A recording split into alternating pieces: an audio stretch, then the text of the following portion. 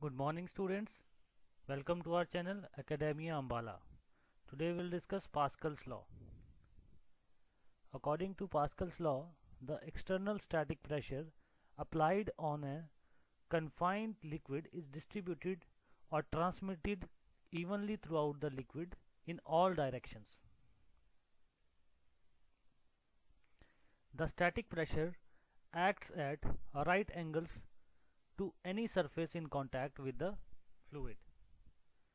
Pascal also found that the pressure at a point for a static fluid would be the same across all planes passing through that point in the in that liquid.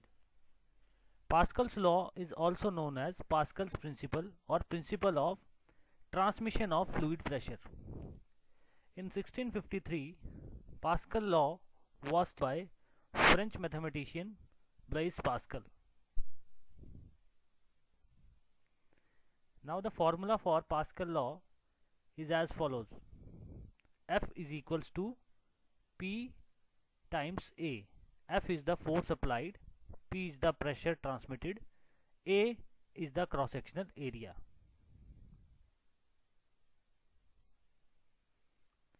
Now the derivation for Pascal's law.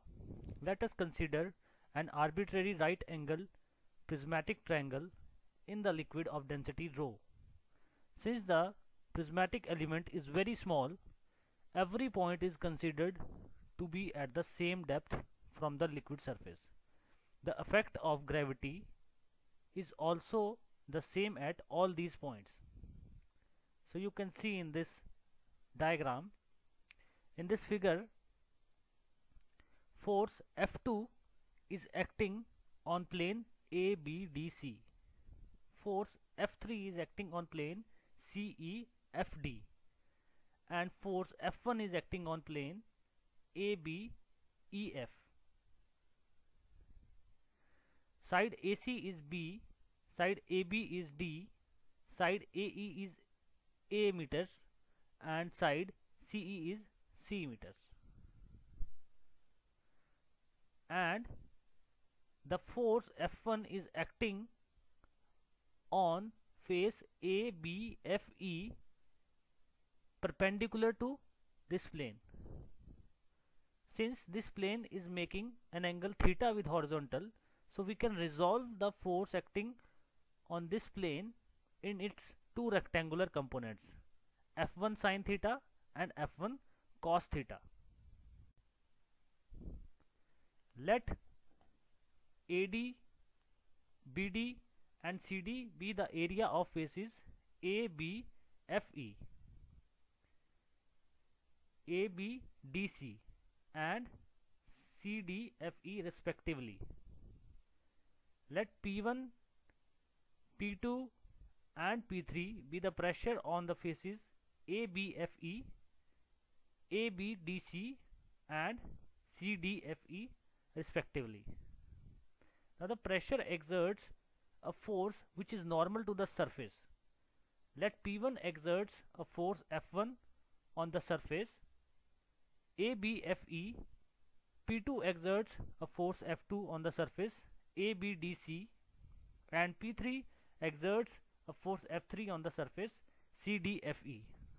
Therefore, force F1, F2 and F3 is given as F1 is equals to P1 multiplied by area of ABFE and this is equal to P1 AD. AD is the area of face ABFE. Now F2 is equal to FP2 multiplied by area of ABDC and this is equal to P2 multiplied by BD. BD is the area of face ABDC.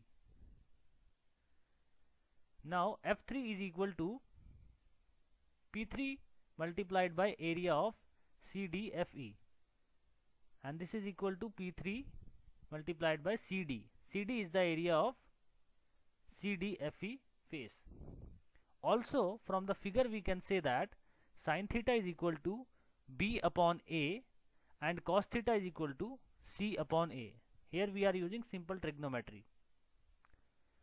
So the net force on the prism will be zero since the prism is in equilibrium.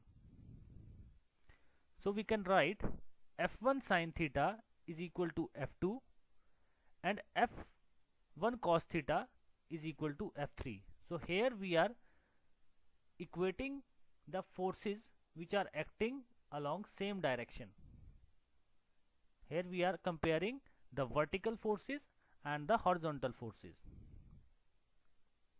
F1 sine theta is the horizontal force and f1 cos theta is the vertical force. So now putting the values of f1 in these equations we will get p1 ad multiplied by b upon a. And this is equal to p2 multiplied by bd and the second equation is p1 multiplied by ad multiplied by a upon a. And this is equal to p3 multiplied by cd so in equation 1 a on left hand side will cancel out with a. And BD will be cancelled out on both side. Similarly in equation 2 on left hand side A will be cancelled with, cancelled with A and CD will be cancelled on both the sides. So you are left with P1 is equal to P2 and P1 is equal to P3. So from these two equations we can say that P1 is equal to P2 is equal to P3. Hence Pascal law is proved okay thank you